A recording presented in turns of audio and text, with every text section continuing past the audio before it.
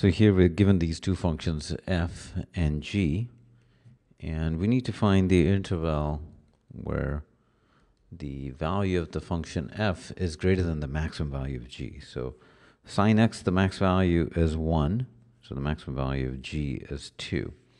Now, you can just graph this, or it's good to know qualitatively what the exponential function looks like. It's going to look something like that. So we're looking at those values of x where, so it's going to happen intersection at some point. All values of x here, the exponential function would be greater than 2. So we just find the intersection. So if we take x over 4, ln 2, so x is 4 times ln 2, and we can just compute this. If I remember, ln 2 is 0.693.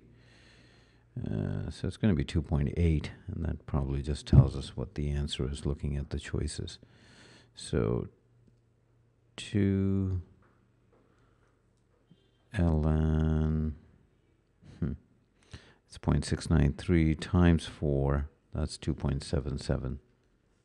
So x, as long as x is greater than 2.77, um, the function f would be greater. So the answer is choice C.